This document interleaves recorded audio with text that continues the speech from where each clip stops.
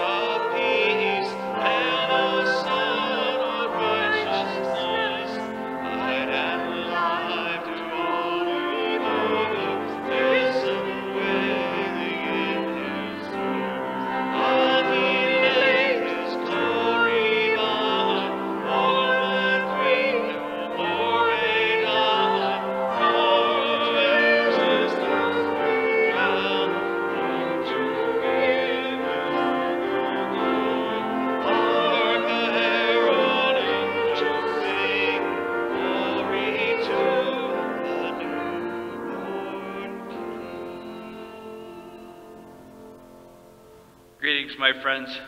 Today we celebrate the Feast of the Holy Family, but we're recording this on, on the feast of, of St. Stephen, first deacon, one of the first deacons and first martyr of the church.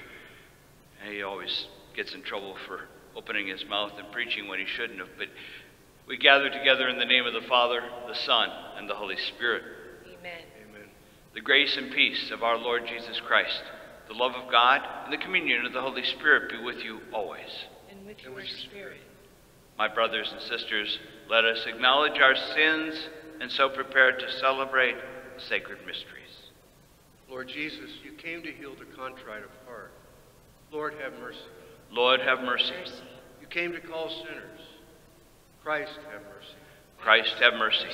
You intercede for us at the right hand of the Father. Lord, have mercy. Lord, have mercy.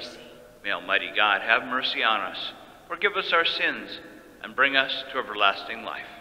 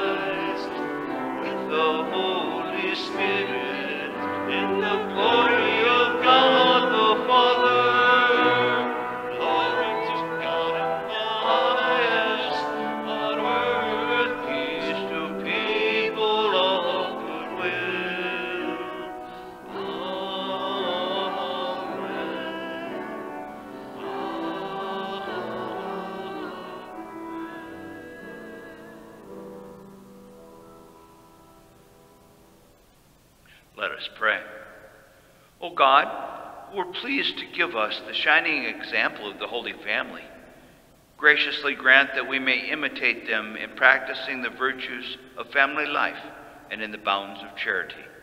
And so, in the joy of your house, delight one day in eternal rewards. Through our Lord Jesus Christ, your Son, who lives and reigns with you in the unity of the Holy Spirit, one God, forever and ever. Amen.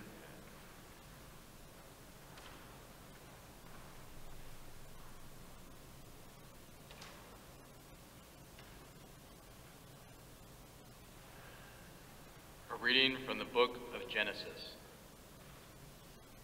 The word of the Lord came to Abram in a vision, saying, Fear not, Abram, I am your shield. I will make your reward very great. But Abram said, O Lord God, what good will your gifts be if I keep on being childless and have as my heir the steward of my house, Eliezer?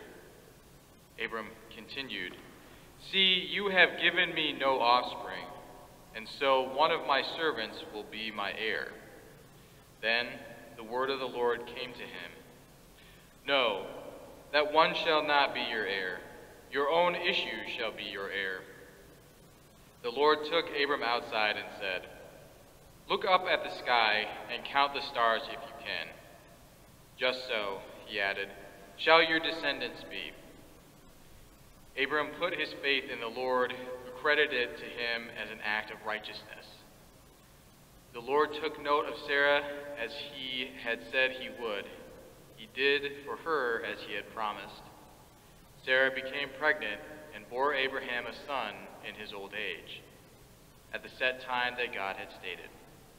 Abraham gave the name Isaac to his son of his whom Sarah bore him. The word of the Lord. Thanks be to God.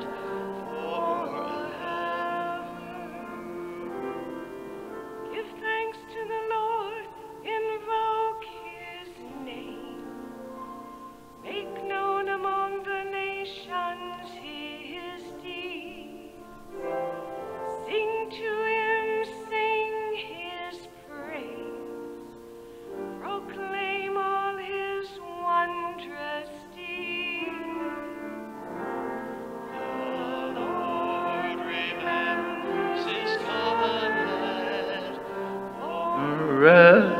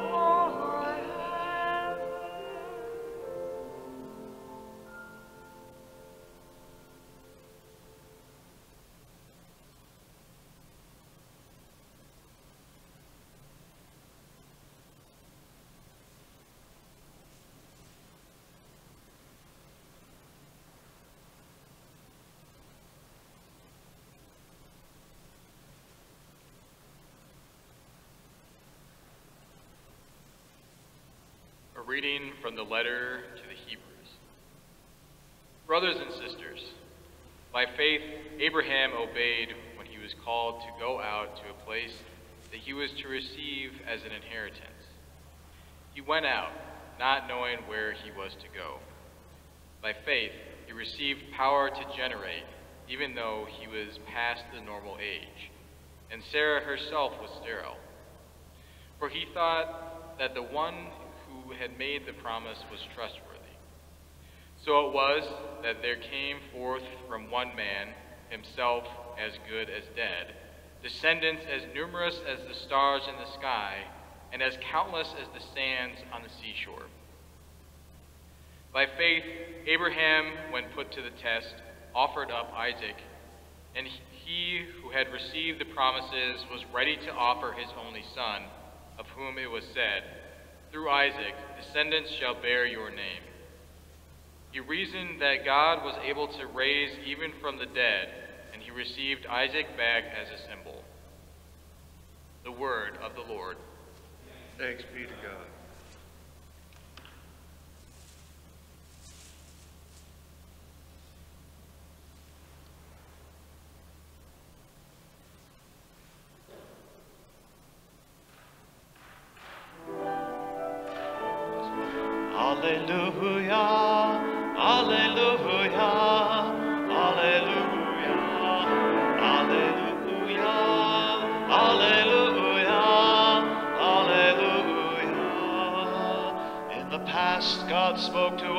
Ancestors through the prophets. In these last days, He has spoken to us through the Son. Alleluia, Alleluia, Alleluia.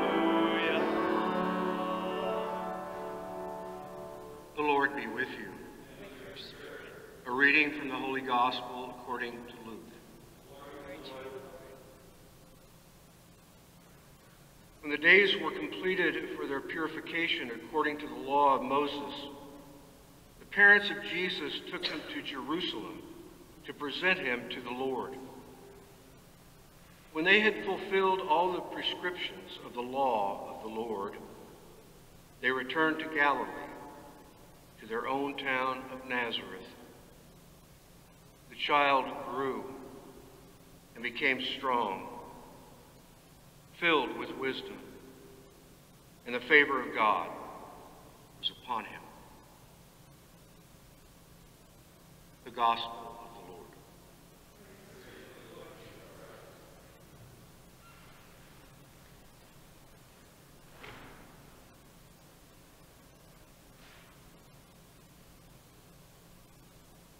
Well, that was quick. Here we are again. We hope that had a joyful Christmas celebration with your families on Christmas Day, even though they may have come through Skype or Zoom. Our main focus now is on the Christmas season until the Epiphany of the Lord on January the 3rd. And of course, this liturgical season includes today's Feast of the Holy Family, included in the church calendar since 1921. We may be tempted to think that we ourselves can create a holy family. We cannot. Only God can provide the grace for our families to be separate for Him, to be set apart in the world for Him. Still, we need to do everything in our power to give God's grace the opportunity to flow into our families and into our homes. And of course, this is what Jesus, Mary, and Joseph did throughout their lives. The primary purpose of this feast is to present the Holy Family as a model for Christian life and love for God. We learn from the Holy Family. They are perfect examples for us. They are a model of faithfulness and trust in God. Joseph, of course, was the head of the family. He was the father according to the law, and it was he who supported Mary and Jesus through his work and care. It was Joseph who heard God's message to take Mary as his wife. It was he who obeyed God and protected the child and mother by going into Egypt. It was he who heard the call of God to return to Israel, not Bethlehem, but to Nazareth. It was he who taught Jesus his trade as a means of earning a living. From Mary, Jesus undoubtedly learned certain turns of phrase, popular expressions full of wisdom, which he was later to use in his preaching, like, keep some of today's bread dough so that it could act as leaven for the next day. When she mended clothes, she would find a cloth that matched in age, not a new piece of cloth that would tear at the mending. Store the best clothes in a chest with aromatic plants to protect them from moths. And of course, we have Jesus, who sacrificed his life for us in complete obedience to God the Father. This is the Holy Family, sacred, holy, set apart for God's purpose, exemplary, a model of human virtues ready to carry out God's will exactly. A Christian family, no matter their circumstances, and struggles, and even divisions, should strive to be an imitation of the home of Nazareth, a place where there is plenty of room for God, so that He can be right at the center of the love that members of the family have for one another. And this, of course, should be a love that is unconditional, not about our needs, but others' needs. But there is another dimension to the Holy Family, I think, and that dimension hits close to home for us in our daily lives and in this very church building we are in today. We are members of Christ's church. God has chosen us to be disciples of Jesus. Through our baptism, we became adopted sons and daughters of God through Jesus Christ. Each of us was set on a mission of sanctification to strive to be holy, just as the family we celebrate today is holy. We were called to be set apart, dedicated for God's purpose.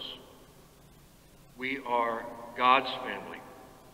We are, if you will, an extension of the Holy Family that we celebrate today. Every time I walk in this church building, like many or all of you, I am struck by its beauty. I continue to marvel at the detail of workmanship in the altars, at the statues of saints, at the stained glass windows, the pipe organ.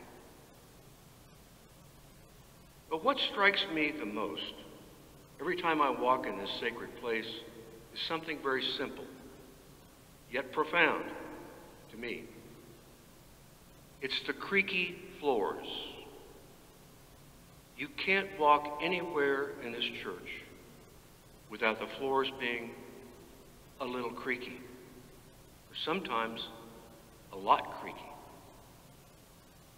That's because St. Mary's Church of the Visitation in Iowa City has been a home of the faithful since just after the Civil War. It is beautiful, and it's old. For over 150 years, people have been called by God to be present here to worship Him in faith, in communion with Him and each other. Every time we come here, we can think about and pay homage to the thousands upon thousands of people who have come here to express their love and gratitude to God for His blessings in their lives. They have come here striving to grow in holiness, ever closer to Him in their lives. Those people, down through the years, are our spiritual ancestors. Together with them, we are a continuing and growing holy family, rooted in the unconditional love of God, as were Jesus, Mary, and Joseph. Let us call upon their intercessions for us and for the intercessions of our spiritual ancestors to strive for holiness, to allow God to direct our lives in ways that are pleasing to Him.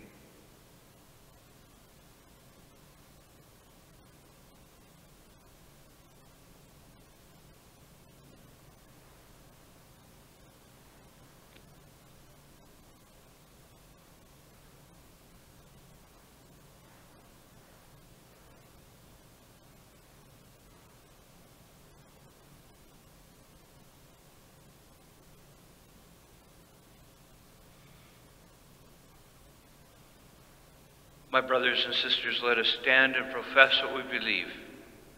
I believe in one God, the Father Almighty, maker of heaven and earth, of all things visible and invisible.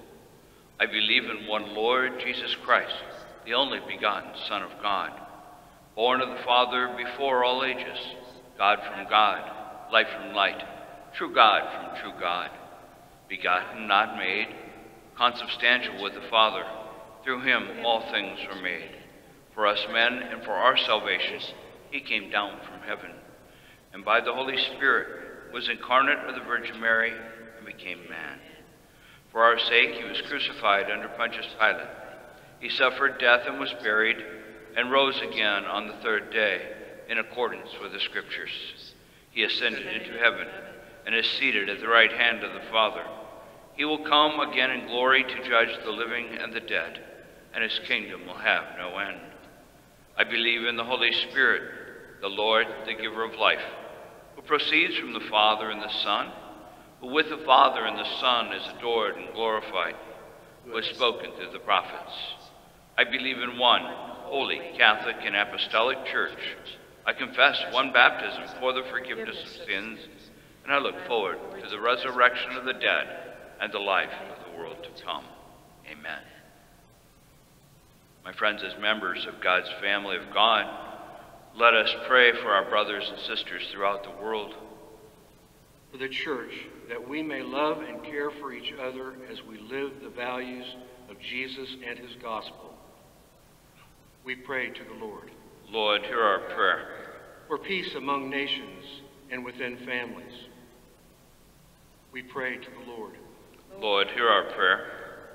For parents, that they will witness faith and love in their words and in their actions. We pray to the Lord. Lord, hear our prayer. For children, that they will respect, honor, and obey their parents. We pray to the Lord. Lord, hear our prayer. For the divorced, the widowed, and for all who live alone, that they will know the love and support of the church for them. We pray to the Lord. Lord, hear our prayer. for Charlie and Ann Owen, Sue Durian, Ralph, Ralph Deppel, Mr. and Mrs. Joe Miltner, and for all of our departed loved ones. We pray to the Lord. Lord, hear our prayer. God of all, may your love bring us together as brothers and sisters in Christ. May we live as you want us to live and love as you call us to love. For you are God, living and reigning forever and ever. Amen.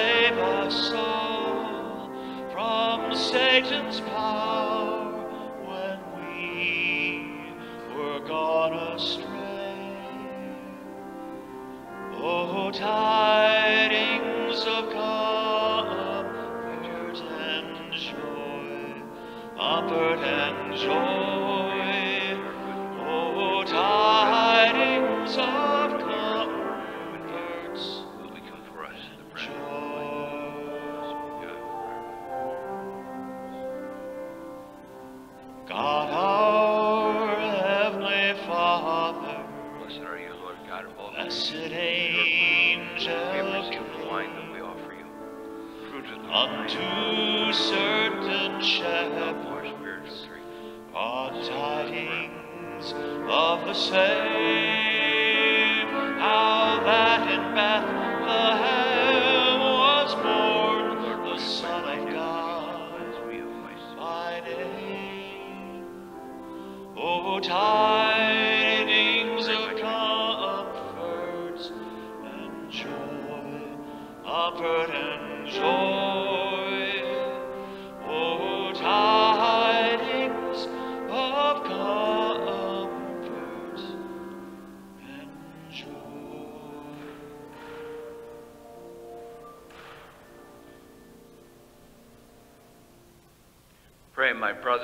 sisters, that my sacrifice and yours may be acceptable to God the Father Almighty. May the Lord accept this sacrifice at your hands, the praise and glory of God's name, for our good and the good of all His holy church. We offer you, Lord, the sacrifice of conciliation, humbly asking that through the intercession of the Virgin Mother of God and Saint Joseph, you may establish our families firmly in your grace and your peace through Christ our Lord. Amen. The Lord be with you. And with your spirit, Lift up your hearts. we lift them up to the Lord. Let us give thanks to the Lord our God. It is right and just. It is truly right and just, our duty and our salvation, always and everywhere to give you thanks, Lord Holy Father, Almighty and eternal God.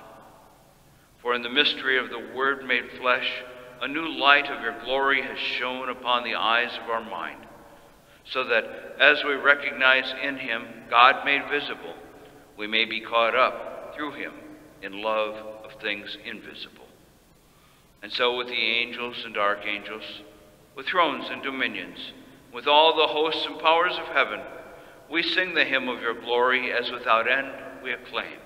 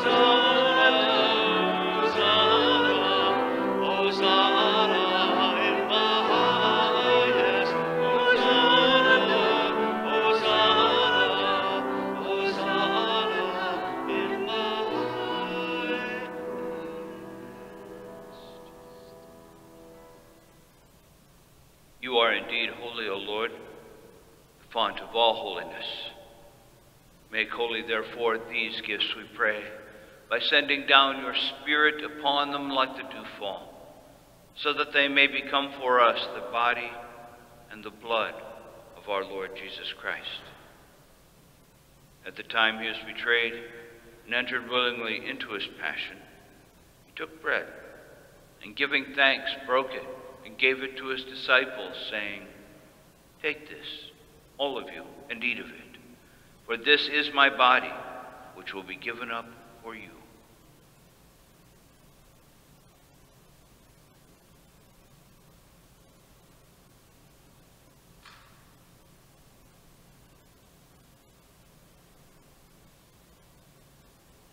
In a similar way, when the supper was ended, he took the chalice and once more giving thanks, gave it to his disciples, saying, Take this, all of you, and drink from it, for this is the chalice of my blood, the blood of the new and eternal covenant, which will be poured out for you and for many for the forgiveness of sins. Do this in memory of me.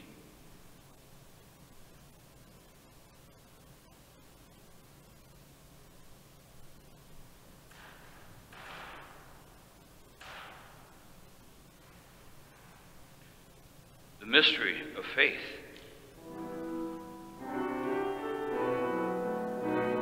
Save us, Savior of the world, for by your cross resurrection you set us. Therefore, as we celebrate the memorial of his death and resurrection, we offer you, Lord, the bread of life and the chalice of salvation, giving thanks that you have held us worthy to be in your presence and minister to you. Humbly we pray that partaking of the body and blood of Christ, we may be gathered into one by the Holy Spirit. Remember, Lord, your church spread throughout the world and bring her to the fullness of charity, together with Francis, our Pope, and Thomas, our Bishop, and all the clergy. Remember also our brothers and sisters who have fallen asleep in the hope of the resurrection, and all who have died in your mercy. Welcome them into the light of your face. Have mercy on us all, we pray, that with the Blessed Virgin Mary, Mother of God, with blessed Joseph, her spouse, with the blessed apostles and all the saints who have pleased you throughout the ages, we may merit to be co heirs to eternal life, may praise and glorify you through your Son, Jesus Christ.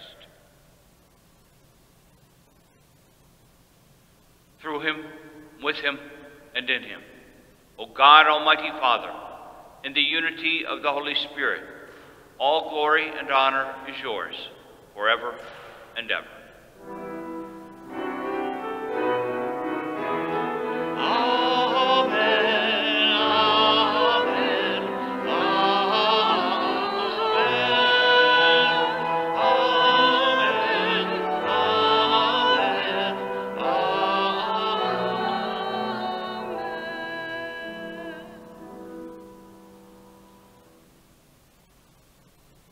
Friends, at the Savior's command, informed by divine teaching, we dare to say, Our Father, who art in heaven, hallowed be thy name.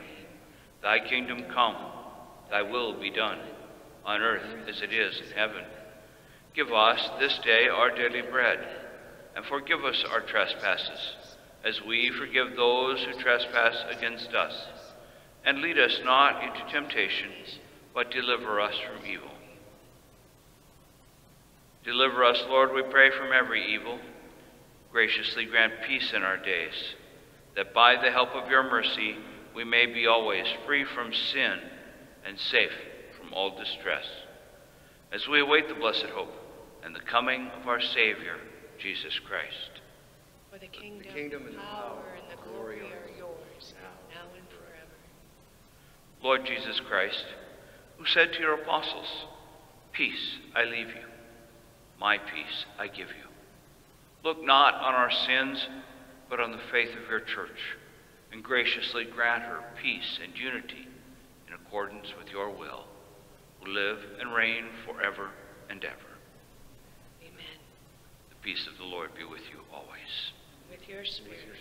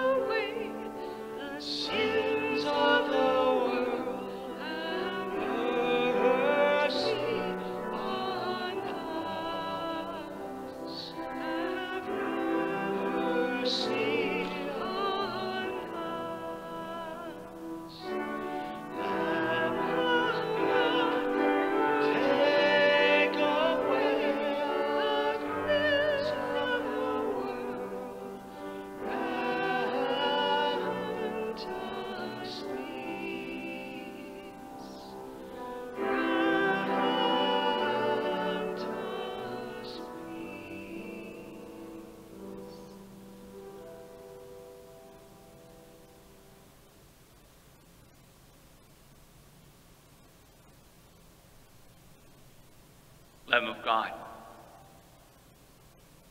Behold the Lamb of God. Behold him who takes away the sins of the world. Blessed are those who are called to the supper of the Lamb. Lord, I am not worthy that you should enter under my roof, but only say the word, and my soul shall be healed.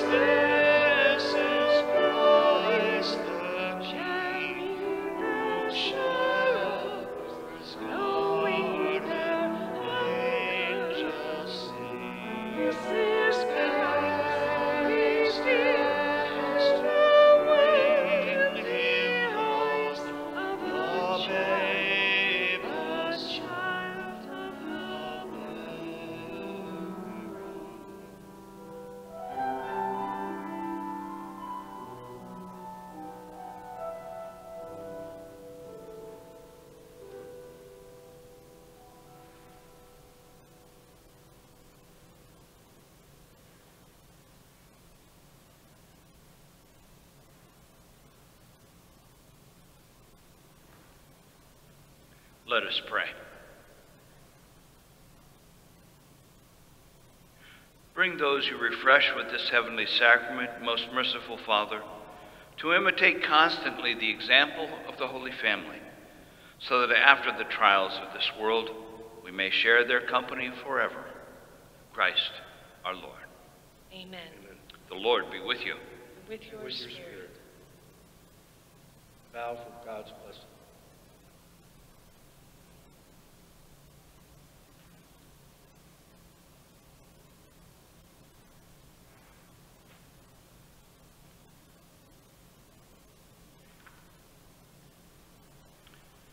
May the God of infinite goodness, who by the incarnation of his Son has driven darkness from the world, and by that glorious birth has illumined the most holy day, drive far from you the darkness of vice, and illumine your hearts with the light of virtue. Amen. And may the blessing of Almighty God, the Father, the Son, and the Holy Spirit come down upon you and remain with you forever. Amen. Amen. Go in peace, glorifying the Lord by your life. Thanks be to God.